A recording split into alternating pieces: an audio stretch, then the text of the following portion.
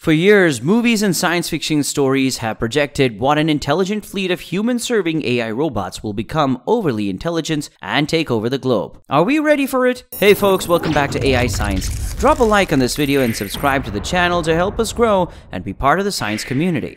Currently, the technological ability to create a robot that looks, moves, and speaks like a person is far beyond our grasp. Even further beyond our grasp is the ability to imbue such a machine with the ineffable presence known as Sonzai-kan in Japanese, because we need to know more about ourselves to recreate human presence that we do about the collection of clues and micro movements that elicit empathy, put us at ease, and gain our trust. We may one day solve the difficulty of producing artificial general intelligence, a machine brain capable of performing any human intellectual work instinctively.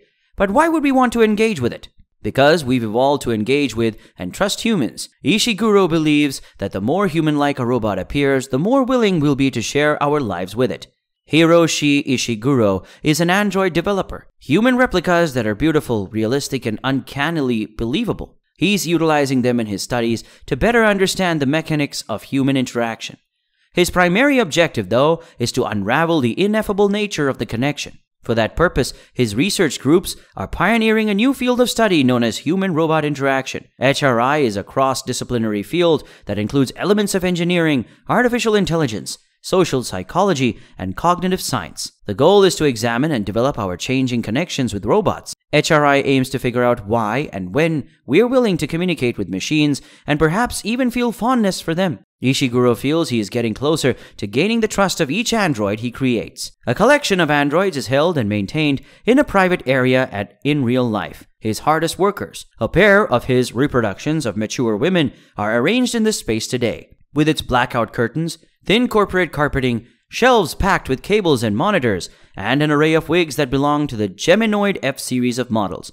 The name is a pun on geminus, Latin for twin and it serves as a reminder that they have human counterparts somewhere around the globe. Students and staff may be testing, measuring, and recording the reactions of dozens of volunteers to the androids that have at their disposal at any given time. What aspects of its behavior or appearance, such as its unique facial expressions and little body movements, do they find repulsive? What is it that brings them together? These androids are employed to answer an increasing variety of research problems, including what role does nonverbal communication play in developing trust between humans, and by extension, between humans and androids? In what situation must we treat an android as if it were a human? Ishiguro's collective of labs is devoted to the engineering of human closeness in this way. Meet Erica. She will greet you and inquire about your name and how your journey to Japan is going. As you speak, she will nod her head, and her eyes wander, yet she will appear to be simply listening to you. This unsettling humanoid is actually a conversational robot companion. Erica is part of a five year study to create a talking companion for Japan's aging and decreasing population. Many people in Japan live alone and need to talk to other people, says Takashi Minato, a researcher at Hiroshi Ishiguro Laboratories. The humanoid robot will be able to assist them. The robot revolution is taking place all over the planet. In the future years, firms in the United States are looking for robots to replace mundane work, and at the CES trade conference last month, manufacturers demonstrated a variety of robots that, for the most part, add a set of digital eyes and smiles to smart linked speakers like the Amazon Echo and Google Home.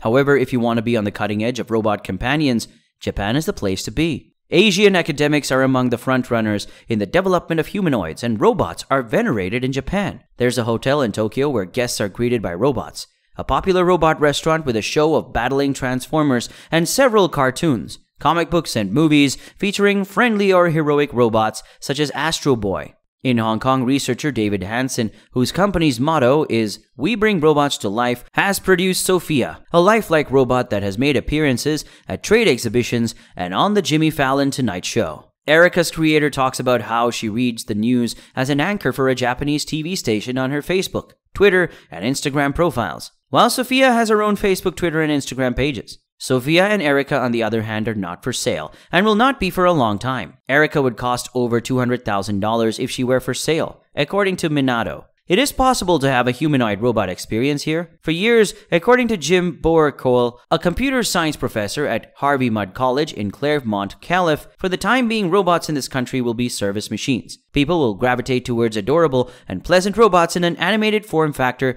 that is clearly distinct from being human. He argues. In the United States, consumer robots are only now beginning to enter the market, and the two most readily available fall into Alexa with eyes category. Jibo is a little device that resembles a white Echo speaker with a spherical iPad mounted on top of it. It's designed to be placed on a table and can provide weather updates, play music on demand, and snap images. It can learn from people it lives with thanks to its face and voice recognition technologies.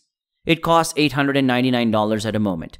Kuri is a circular, more traditional robot, a miniature version of the humanoid Rosie from the Jetsons that many of us remember from our childhood. Alternatively, there's the Pillsbury Doughboy. Alternatively, you might make a snowman. According to the business, Kuri is on wheels and has emotive eyes that blink, a hidden camera, and can wander around the house. Aside from the movement, there's not much it can't already do with Alexa or a smartphone. It can play music on demand, capture photos, and give imagery for live streaming from your house. Kuri, which was released late last year on a limited basis, may be pre ordered for $799 until March 1st, after which it will cost $899. The first deliveries should arrive in spring. Jibo and Kuri, unlike Erica and Sophia, do not have lifelike skin or prosthetic eyes. Beyond the novelty of successfully developing a humanoid, Julie Carpenter, a research fellow with the Ethics and Emerging Sciences group at California Polytechnic State University at San Luis Obispo, says there are legitimate reasons to build them. We have a sense for how we can connect with it intuitively if it appears human like or animal like, she explains. If it replies to you in a way you understand, it makes operating the robot more efficient for you. Minato believes that humanoids will not be seen in Japan for many years. You can find Erica at Hiroshi Ishiguro Laboratories of the Advanced Telecommunications Research Institute, a multi-story think tank in Kyoto. Ishiguro has long been a proponent of robotics